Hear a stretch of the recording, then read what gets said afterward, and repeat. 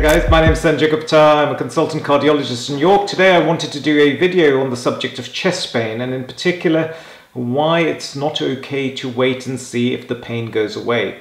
So this video has um, been brought about because I met a patient recently, 45 year old man, completely fit and well. And uh, basically what happened was one night he was sort of went home, started noticing some chest discomfort. He felt a little bit uncomfortable, uh, was walking around, decided that he would go and do a little bit of exercise to see if the pain would go away. And then he sort of did that, the discomfort got a little bit better, had more of the discomfort. Eventually he thought, okay, well, I'll take some paracetamol and go to sleep and hopefully by tomorrow morning it'll go away and if it um, continues then I will go and go to hospital. I wanted to tell you why that thought process is wrong in the context of chest discomfort when you get chest discomfort. So the first thing to say is chest discomfort is an incredibly scary symptom. Of course, it's uncomfortable, but the scariness of chest discomfort is largely about the fact that it may herald something bad going on with our heart. In particular, it may be the first sign that there's an impending heart attack, which in itself can be a fatal event. And therefore, the universal recommendation, wherever you read, is that if someone gets chest discomfort, they should call for help immediately. Despite this universal recommendation, I am always amazed to go to my coronary care unit and see patients and find out that they've had a heart attacks. And when you talk to them, they'll say, Well, yes, I got some chest discomfort two days ago, then it went away after an hour.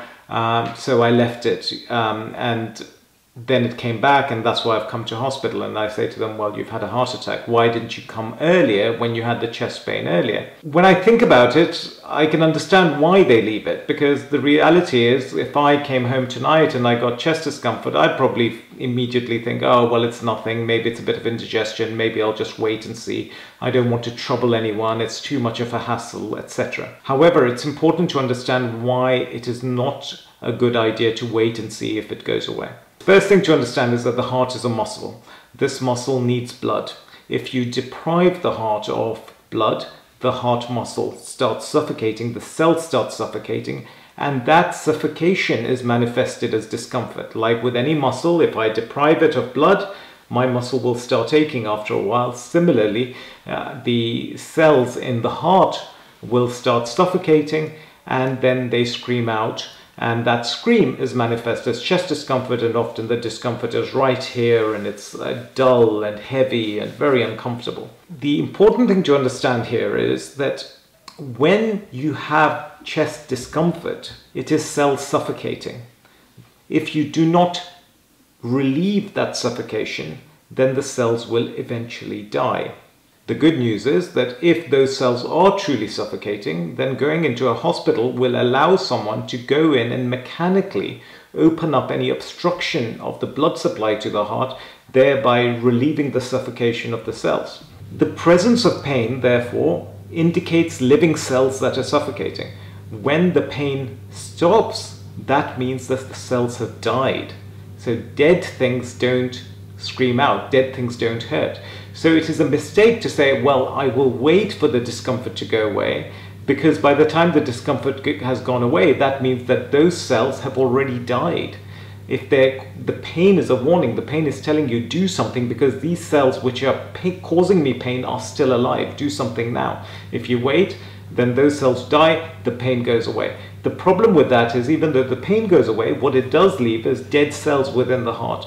And those dead cells mean that the heart therefore is not able to pump as effectively anymore as it could have had those cells been alive.